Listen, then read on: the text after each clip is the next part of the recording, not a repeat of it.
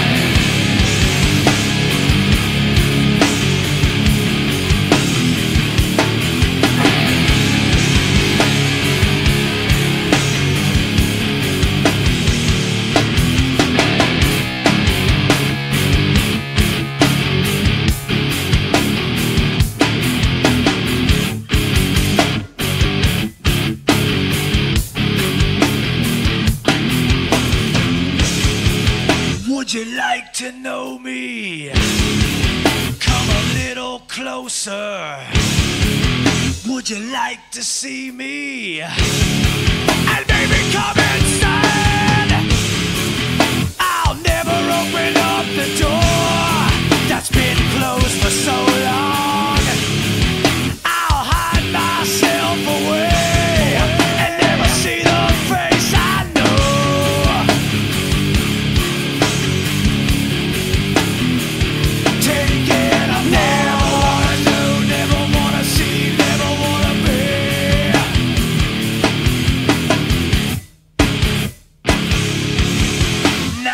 think I can hear you. No, I won't answer. Everything I hide from and stop growing nearer. The plastic that surrounds.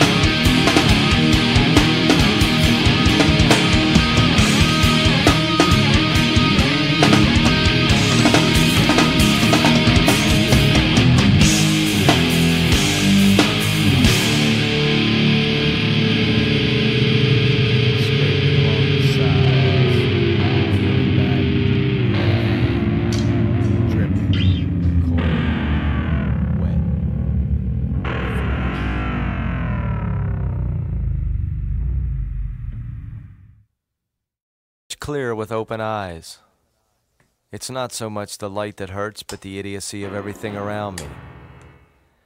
I haven't felt like a normal human being since the beginning of this adventure. It almost feels like I'm being torn apart from the inside. The skin is just a covering for what goes on underneath. Nobody can see inside me.